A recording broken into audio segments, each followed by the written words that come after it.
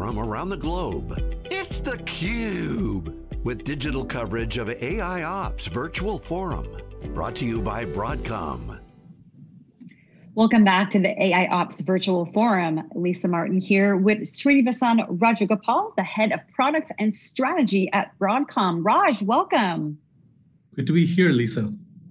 I'm excited for our conversation. So I wanted to dive right into a term that we hear all the time, operational excellence. Right? We hear it in, in everywhere in marketing, et cetera. But why is it uh, so important to organizations as they head into 2021?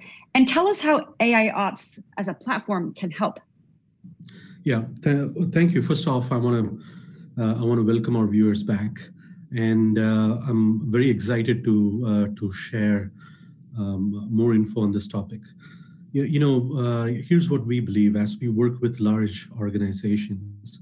We see all our organizations are poised to get out of the uh, the pandemic and look for uh, growth for their own business and helping customers uh, get through this tough time. So fiscal year 2021, we believe is going to be a combination of uh, you know resiliency and agility at the at the same time. So operational excellence is critical because the, the business has become more digital, right? There are going to be three things that are going to be more sticky. Uh, you know, remote work is going to be more sticky. Um, cost savings and efficiency is going to be an imperative for organizations and the continued acceleration of digital transformation of enterprises at scale is going to be in reality.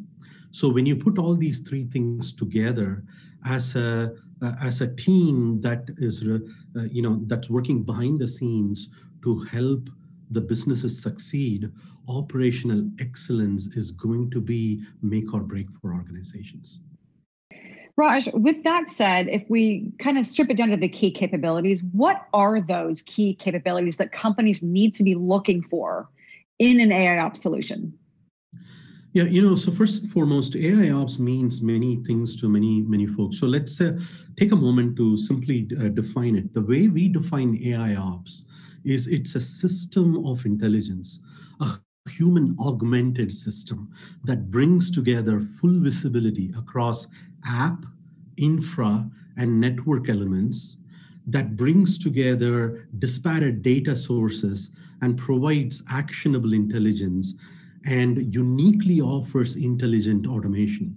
Now, the, the analogy many folks draw is the self-driving car, right? I mean, we are in, in the world of Teslas. Uh, but you, you know, but self-driving data center is is still far away, right? Autonomous systems are still far away. However, you, you know, application of AI ML techniques to help deal with volume, velocity, veracity of information uh, is, is critical. So that's how we look at AI ops. And some of the key capabilities that we uh, that we uh, that we work with our customers to help them are around four areas, right? First one is eyes and ears what we call full stack observability. If you do not know what is happening in your systems, uh, you know that that serve up your business services, it's going to be pretty hard to do anything uh, in terms of responsiveness. Right. So full stack observability. The second piece is what we call actionable insights. So when you have disparate data sources, tool sprawls, data coming at you from, uh, you know, uh, from uh, database systems, IT systems, customer management systems, ticketing systems. How do you find the needle from the haystack? And how do you respond rapidly from a myriad of problems, a sea of red? The third area is what we call intelligent automation. Well, identifying the problem to act on is important and then acting on automating that and creating a, a, recommendation system where uh, you know you can be proactive about it is even more important and finally all of this focuses on efficiency what about effectiveness effectiveness comes when you create a feedback loop when what happens in production is relayed to your support systems and your developers so that they can respond rapidly. So we call that continuous feedback. So these are the four key capabilities that uh, you know uh, you should look for in an AI ops system, and that's what we offer as well. All right, Raj. So there's four key capabilities that businesses need to be looking for. I'm wondering how those help to align business and IT. It's again like operational excellence. It's something that we talk about a lot. It's the alignment of business and IT. A lot more challenging, easier said than done, right? But I want you to explain how can AI ops help with that alignment and align IT outputs to business outcomes? Yeah. So you know, one of the things uh, I'm going to say something that is. Uh, that, that is uh, that is simple but but but is harder. But alignment is not on systems. Alignment is with people right? So when people align when organizations align when cultures align uh, dramatic things can happen. So in the context of ai ops we see when when SREs align with the DevOps engineers and information architects and uh, uh, you, you, know IT operators, uh, you know, uh, they enable organizations to reduce the gap between intent and outcome or output and outcome. That said, uh, you know, these personas need mechanisms to help them better align right? Help them better visualize see the you know what we call single source of truth right?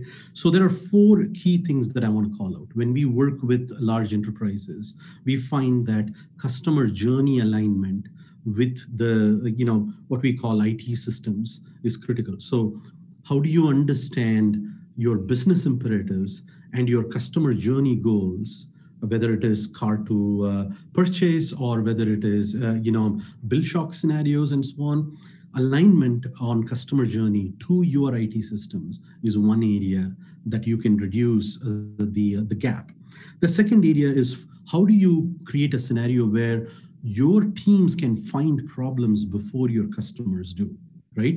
Outage scenarios and so on. So that's the second area of alignment. The third area of alignment is how can you measure business impact driven services right? There are several services that an organization offers as an it system.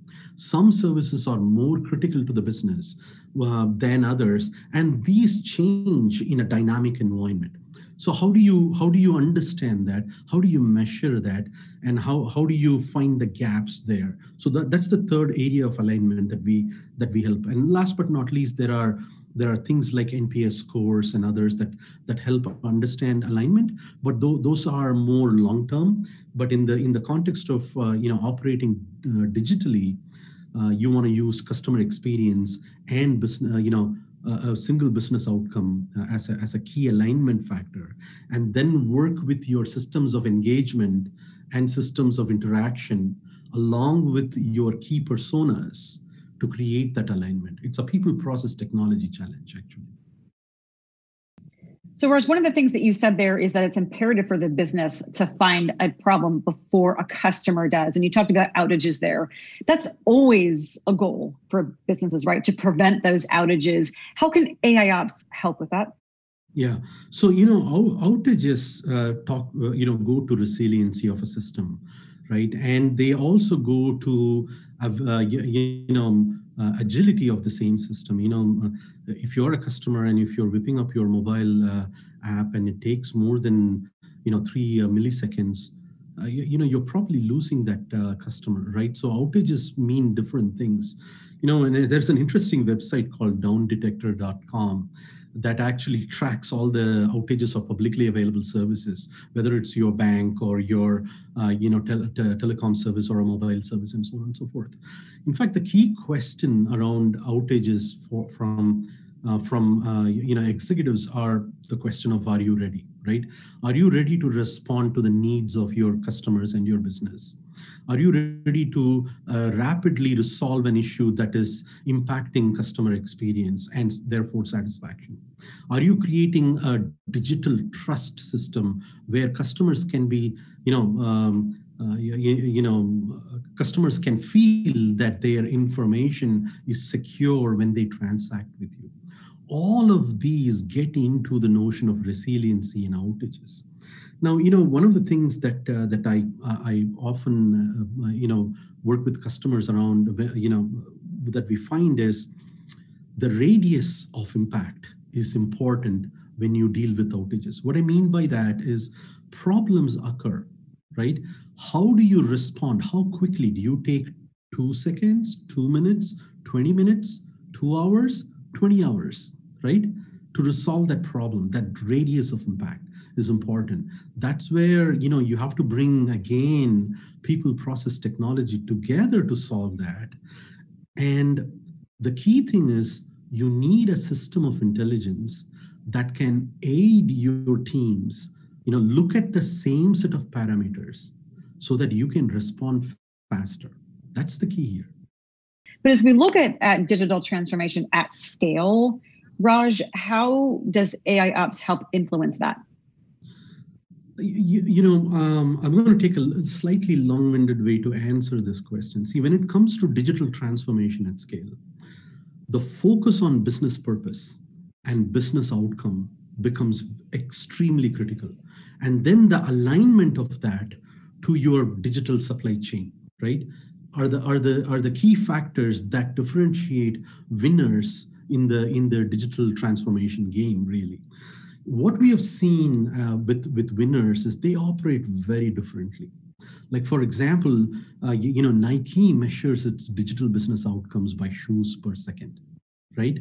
Uh, Apple by iPhones per minute, Tesla by Model 3s per month. Are you getting the, getting it right? I mean, you want to have a clear business outcome, which is a measure of your business uh, in, effect. I mean, Etsy, right, which which uh, um, my daughter use and I use very well, right? Uh, you, you know, uh, they measure by revenue per hour, right? I mean, so these are key measures and when you have a key business outcome measure like that, you can align everything else. Because you know what? These measures, uh, you know, uh, for a bank, it may be deposits per month, right? Now, when you move money from checking account to savings account, or when you de- uh, do direct deposits, those are, you know, banks need liquidity and so on and so forth. But you know, the the key thing is that single business outcome has a starburst effect inside the IT organization that touches a single money movement from checking account to savings account can touch about 75 disparate systems internally, right? So those think about right? I mean, all, all we are doing is moving money from checking account to savings account. Now that goes into a IT production system. There are several applications. There is a database there is there are infrastructures there are load balancers there are webs you know the web server components which then touches your your middleware component which is a queuing system right? Which then touches your transactional system uh, and uh, you know which may be on your mainframes what we call mobile to mainframe scenario right? And we are not done yet. Then you have a security and regulatory compliance system that you have to touch a fraud prevention system that you have to touch right? A State Department regulation that you may have to meet, and on and on and on, right? This is the challenge that IT operation teams face. And when you have millions of customers transacting, right? Suddenly, this challenge cannot be, uh, you know, managed by, uh, you know, human beings alone. So therefore, you need a system of intelligence that augments human intelligence and acts as you you know your your eyes and ears in a way to to point, pinpoint where problems are right? So digital transformation at scale really requires a well thought out ai ops system a platform an open extensible platform that um, you know uh, that is heterogeneous in nature because there is tool sprawl in organizations there is uh, you know a lot of databases and systems. There are millions of uh, uh, you know customers and hundreds of partners and vendors you know making up that digital supply chain.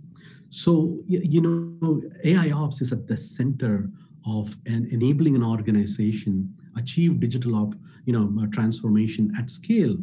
Last but not least you need continuous feedback loop continuous feedback loop is the ability for a production system to inform your DevOps teams, your finance teams, your customer experience teams, your cost modeling teams about what is going on, say that they can, so that they can reduce the intent to outcome gap. All of this need to come together, what we call BizOps for IT ops. That was a great example how you talked about the starburst effect. I actually never thought about it in that way when you gave the banking example, but what you should is the magnitude of systems, the fact that people alone really need help with that and why intelligent automation and AI ops can be transformative and enable that scale. Raj, it's always a pleasure to talk with you. Thanks for joining me today. Great to be here. And we'll be right back with our next segment.